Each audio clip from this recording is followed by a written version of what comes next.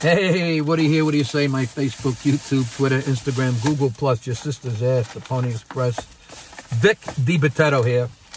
You know, a lot of my videos, I do uh, a ticked off Vic, where I'm very ticked off about a certain topic or about certain uh, mutants in society. But this isn't a ticked off Vic. What happened just now at CVS, uh, it just it just wrote itself.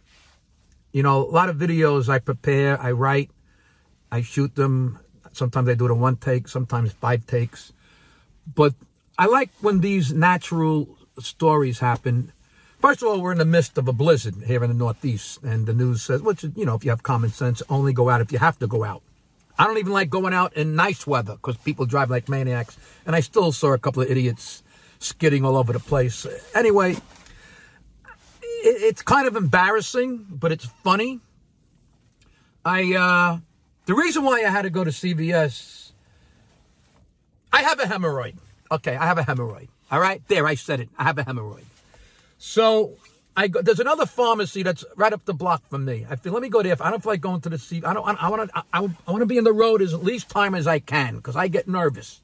The roads are icy, very bad. I mean the uh, they're doing a great job salting and, and uh, snow plowing, but it's still, it's bad. It's a blizzard.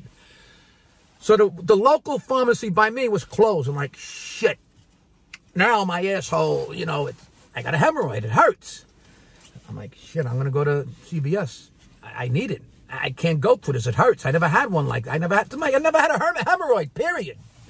So I pull up the CVS. The parking lot is empty. I'm like, oh, shit. I'm trying to see through the window. Are the lights on? Okay, there's one car parked. now I get out. There's a guy standing by the door. Here we go. Uh, excuse me, we're closed. I'm like, oh, you're kidding me. But then he was not. If this guy is white, he didn't recognize me. I, I like when I'm not recognized sometimes. It humbles me. But he had the mask on. Then you could see he was taken back. He saw I was in a like a panic. He, he says, "What do you need, buddy?"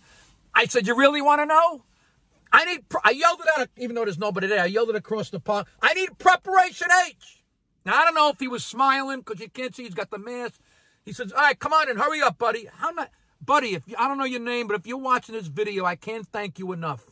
I'm going to thank you when I put the, the preparation H on my hemorrhoid.